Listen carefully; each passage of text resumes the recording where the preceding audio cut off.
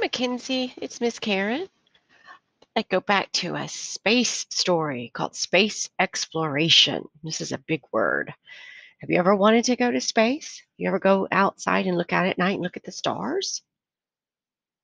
What do we know about space exploration?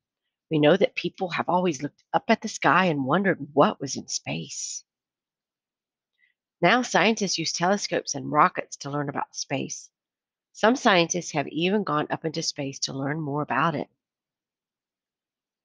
John Glenn was born in 1921 in Ohio. He became one of the first astronauts in the United States.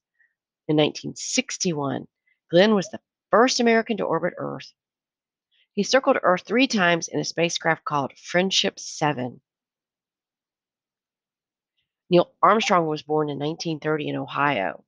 He was a pilot before he became an astronaut. In 1969, Armstrong became the first person to walk on the moon.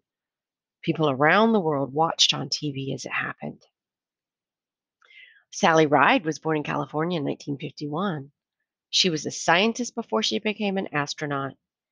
In 1983, Ride became the first American woman in space. She orbited Earth on the Space Shuttle Challenger. Scientists and astronauts have helped us understand more about outer space.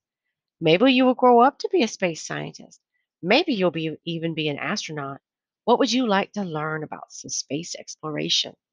Makenzi, if you want to learn about more um, space about space some more, there um, Fernbank has um, a planetarium, and I think it has a telescope. So maybe y'all can go uh, to Fernbank. You have a great day.